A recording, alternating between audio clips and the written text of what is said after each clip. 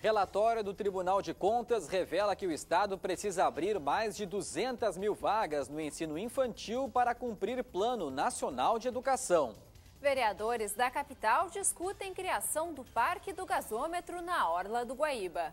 Agentes penitenciários do Rio Grande do Sul paralisam atividades pedindo valorização profissional.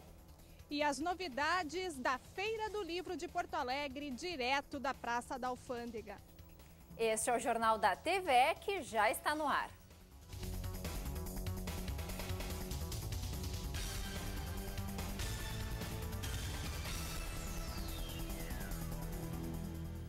Boa noite. Boa noite. Caixa eletrônico lúdico e biblioteca para trocar livros. Estas são algumas novidades da Feira do Livro que estão fazendo sucesso na Praça da Alfândega. De longe parece um simples caixa eletrônico, mas chegando um pouco mais perto, o público percebe que esta máquina não serve para tirar ou fazer depósito de dinheiro. Aqui as pessoas sacam poemas ou histórias escritas por oito autores muito conhecidos como o patrono da Feira do Livro, Luiz Augusto Fischer. E quem quiser também pode fazer um depósito contando sua própria história. Às vezes o que a gente está passando na vida no momento, outras pessoas também estão passando. E de repente é uma maneira de ajudar as pessoas. E assim como o caixa eletrônico, que parece, mas não é, esta biblioteca também é um pouco diferente. Todos que entram para tirar uma obra devem deixar outra no lugar é o troca-troca de livros. No final de semana, a gente trocou em torno de 700 livros. E a gente quer, até o final da feira, alcançar uns 2, 3 mil livros. Se depender do seu Di e do Felipe, o projeto vai alcançar a meta. É uma inovação muito importante porque amplia né, as possibilidades de quem, quem cultiva o livro, cultua a leitura, a gente traz um livro que para nós já estava ocupando espaço e acaba levando um novo conhecimento para casa. No final da feira, todas as obras que sobrarem na biblioteca vão ser doadas. Quem quiser conhecer o local ou ainda o caixa eletrônico que saca poemas, pode ir até o estande do Banrisul, que fica em frente à Praça de Autógrafos. E quem está lá na Praça da Alfândega agora é a repórter Jocélia Bortoli, que tem as últimas informações da Feira do Livro. Boa noite, Jocélia. Boa noite, Lívia. Boa noite a você que nos acompanha. Olha só, 100 mil pessoas já passaram aqui pela feira. E outra novidade que tem este, neste ano é a inclusão da linguagem cinema na programação. Neste momento, no Santander Cultural, acontece a exibição do filme Chinatown, de Roman Polanski. E ao meu lado, o professor de Ciência Política da URGS, uh, André Marenco, que lança um livro sobre o tema. Professor, o que, que faz com que as pessoas se interessem pela política hoje? Bem, essa justamente é a pergunta que um conjunto de pesquisadores que participam desse livro que estamos lançando, Os Eleitos, Representação e Carreiras em Democracias, se fizeram. São pesquisadores brasileiros, latino-americanos, franceses, etc., que reuniram um conjunto de pesquisas buscando justamente entender uh, o que elementos, que, que, recursos, que condições permitem a entrada na política e permitem uma carreira, né, uma mobilidade na, na carreira.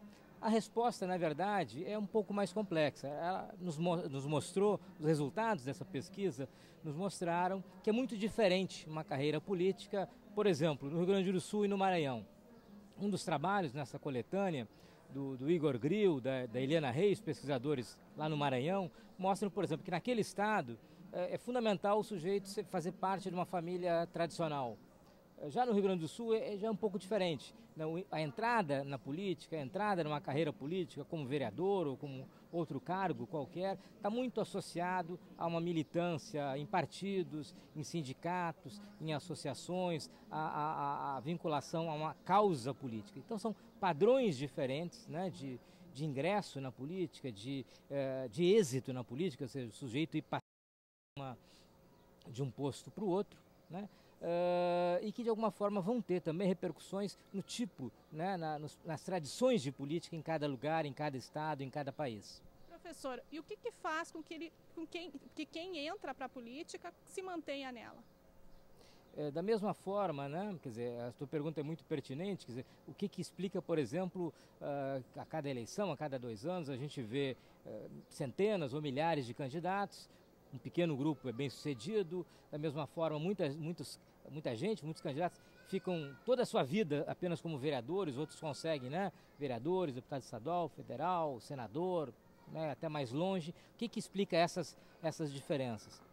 Em alguns casos, partido é, é um elemento central, o sujeito eh, dedicar a vida inteira a uma organização partidária, ao seu partido, a fidelidade ao partido. Em alguns lugares, no Rio Grande do Sul, por exemplo, isso é muito importante. Em geral, uma carreira não é bem sucedida quando o sujeito não está vinculado fortemente a uma organização partidária.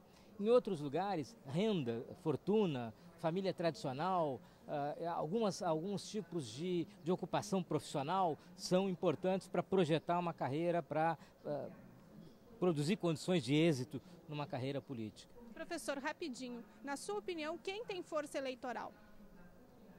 Uh, basicamente, num estado como o Rio Grande do Sul, quem está vinculado a partidos. O voto está muito associado a estruturas partidárias né, e a, a partidos. Em alguns, em alguns lugares, uh, certas profissões, ou de comunicador, uh, ou de médico, enfim, projetam o indivíduo, dão, dão uh, repercussão, dão reputação pessoal a ele. Em outros, renda, fortuna ou acesso a financiadores de campanha são elementos fundamentais para uma carreira política.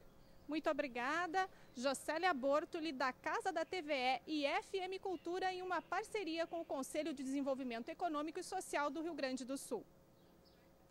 Muito obrigado, Jocélia. E depois do intervalo, vamos mostrar que um relatório do Tribunal de Contas alerta para a necessidade de abertura de mais de 200 mil vagas no ensino infantil para que o Estado cumpra o que determina o Plano Nacional de Educação. E veja também. Vereadores da capital discutem criação do Parque do Gasômetro na Orla do Guaíba.